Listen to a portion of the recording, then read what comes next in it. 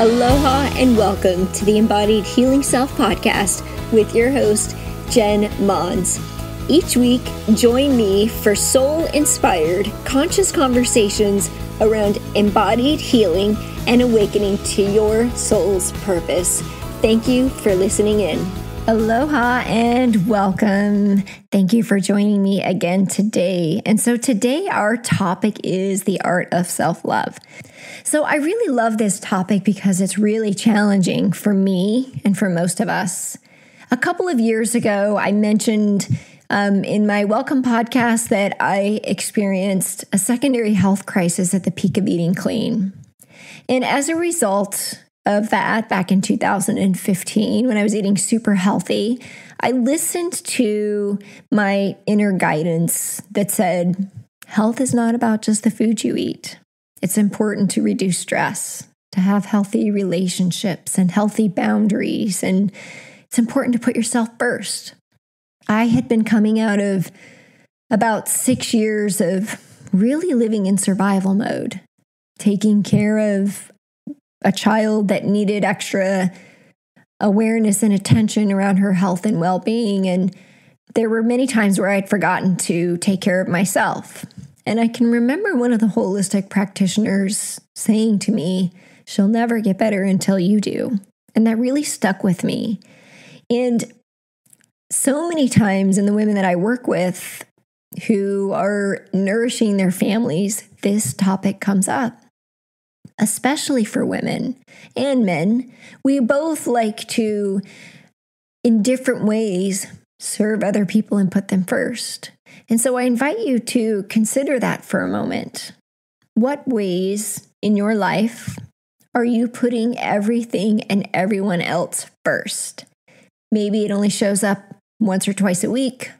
Maybe this is a part of who you are. Chances are there have been times in your life where you have really decided to do this.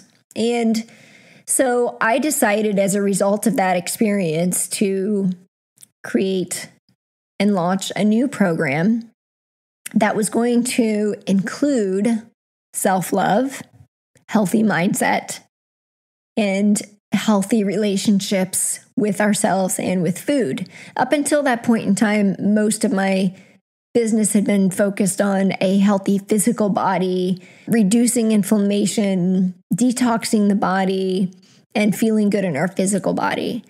And so this experience really set in stone the need for healthy mind, healthy heart space, and healthy relationship to ourself.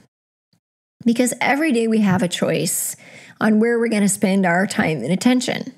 We have 168 hours in the week and we choose how to spend those hours. Oftentimes, we spend them with, uh, without a clear sense of purpose. We're in survival mode, responding to what life throws our way. So we're being responsive rather than proactive. A lot of times we have obligations, and sometimes we commit to things that aren't in alignment with our core values because we feel like we have to do certain things.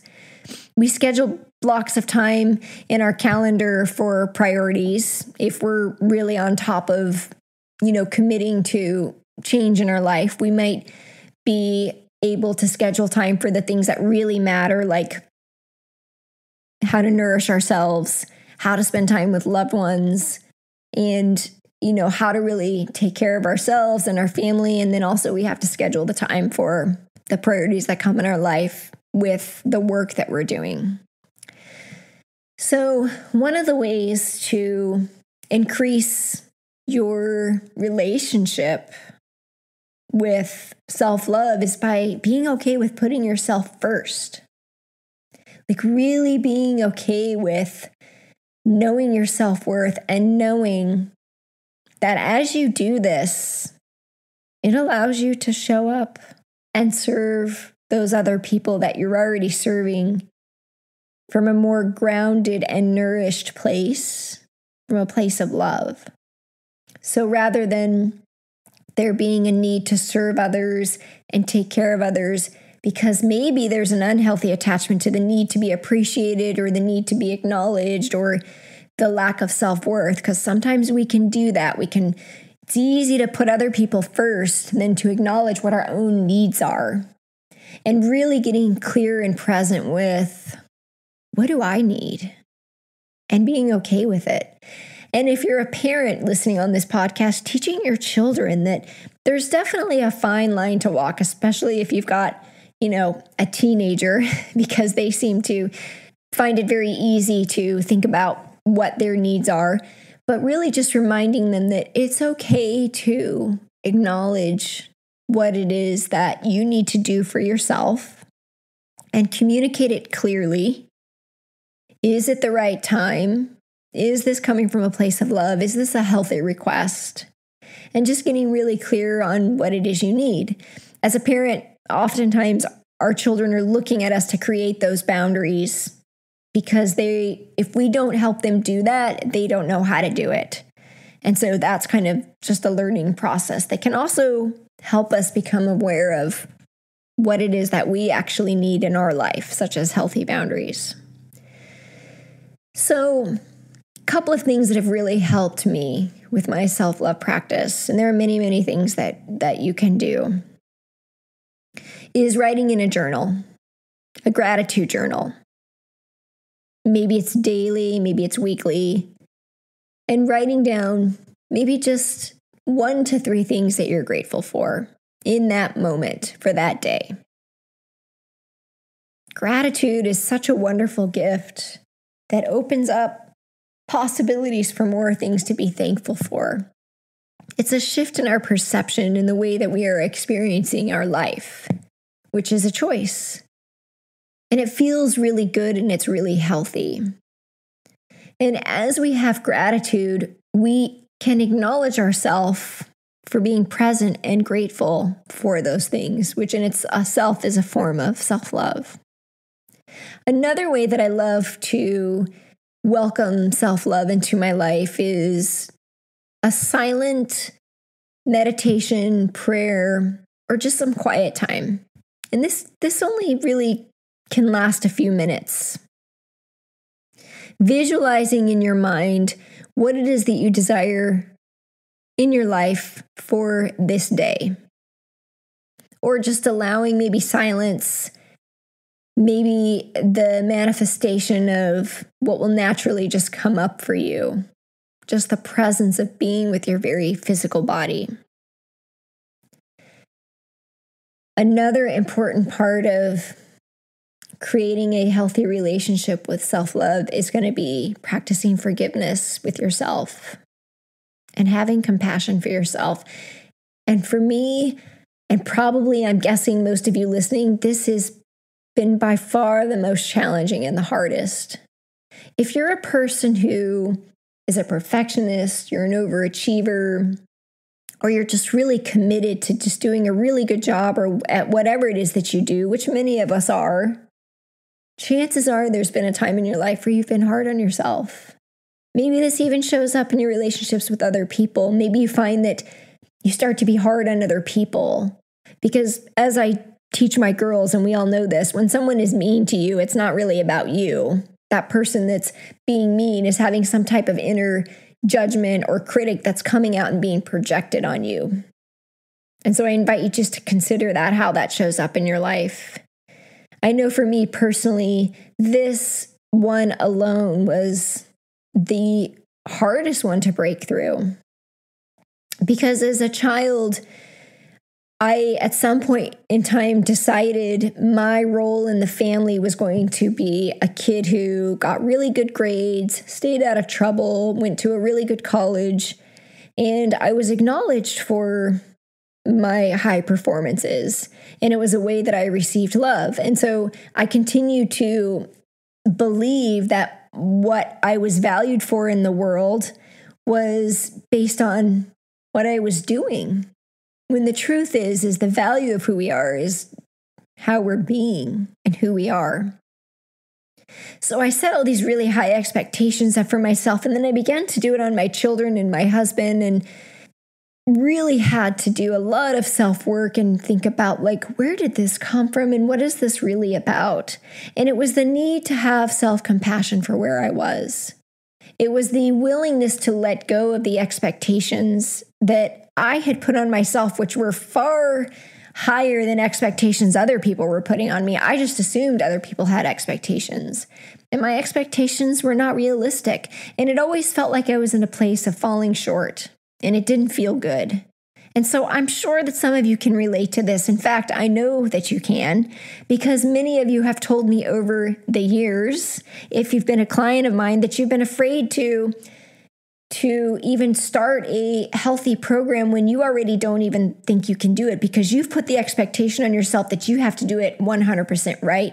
It's either pass or fail. When the truth is is that any step that you take in the right direction, any step that you take with positive intention to create change for yourself, to welcome self-awareness is a step in the right direction already. And oftentimes the first step is the hardest step. And this, I can't tell you how many times this message comes through to me on how often we keep ourselves from doing something that we know is going to serve us because we've already had it in our mind that we're going to fail or we're not going to meet the expectation because we have to do it right. We have to do it perfect. When I just really want to wear that t shirt that says, I am perfectly imperfect. We are all perfectly imperfect. It's what makes us human. And so the minute we can welcome that self compassion for where we are, when we can really get true with you know how it is that we're showing up and feeling noticing where it where we're feeling it in our body and you know where did this come from? Why do we feel like we have to be perfect? You already are. We're allowed to make mistakes. And the more that we show up vulnerably in our mistakes the more that it shows other people it's okay it's a so we don't want to say like for example thinking as a parent to our kids like oh it's okay that you know you're not doing your homework and getting a bad grade. That's not what we're saying. There's definitely a balance between truth and compassion. We always want to remember that. We want to have compassion self-compassion for the experience but the truth is is that we do want to show up and do the work to get the results that we want but letting go of the expectation and being and just allowing the journey to unfold, we do the work the best that we can in that moment. And then we allow the journey to unfold. So, I just want to bring clarity around that because that is that is really the fine line is that balance between truth and compassion. Because too much compassion is enabling, like, oh, honey, it's okay if you don't do your homework and don't get a good grade. Well, it's really not. Like, our job is to, you know, create that space for making good choices. And as a coach, this is what I do all the time is that balance between accountability and truth and also having compassion for that person's unique individual experience. We do this in relationships, we do this in parenting, I do this as a coach. So, really just allowing yourself to notice the balance between that truth and compassion. Too much truth is harsh. So, really acknowledging where you are and really just trusting that you are doing the best you can in that moment. And remember, on my very, very first podcast, I shared with you that it's all in divine timing anyway. We're actually really not in total control of everything. It's it's an illusion. So I invite you to consider that for a moment. And it's because our whole life experience is not just about us. It's it there's a whole whole thing that's happening here. So when we realize that everything that we're doing is not just about us, we can humbly step back after we've created action steps and trust that we are in the right place at the right time. And one of my mentors taught me to say, because I noticed um, some that even after I had done the work through creating compassion and forgiveness about where I was in my self love, that I still had old patterns of the way that I would say things and so she invited me to consider when I noticed myself saying that, welcoming the words, until now, I have done this. And now I choose differently to do things this way. So I invite you to use those words and just play with them. It's simple words until now. Until now, I am an emotional eater.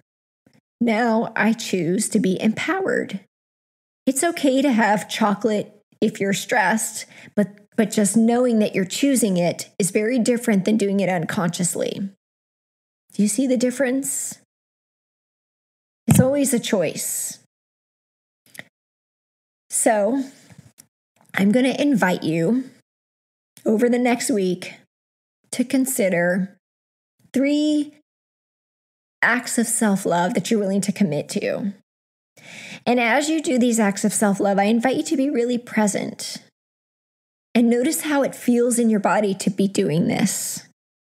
It could be a simple act of journaling, it could be something like getting a massage, it could be some time in silence, a walk in nature, it could be a talk with a relationship that needs a healthy boundary.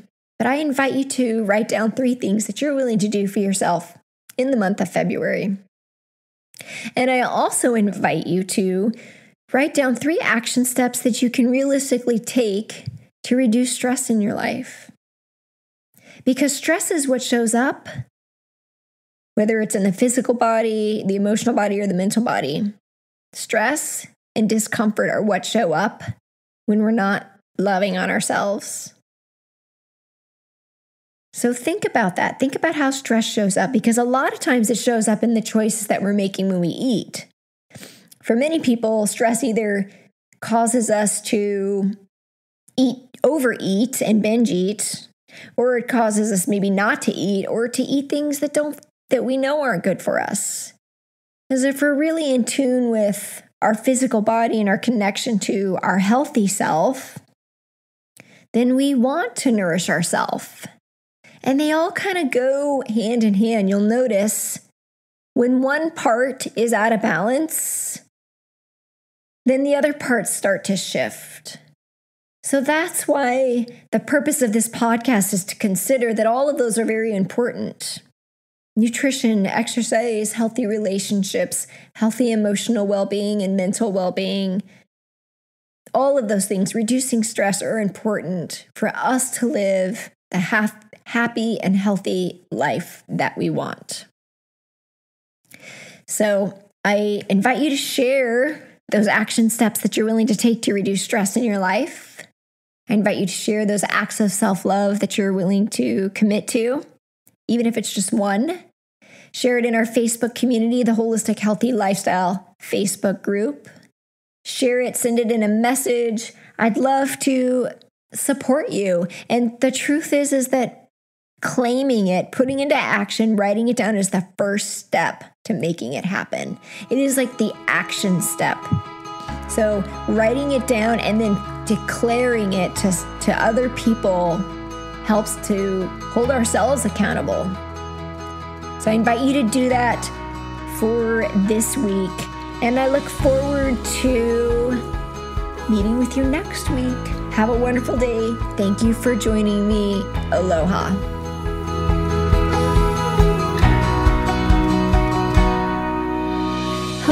Friends, and thank you so much for joining me today and being a part of this community.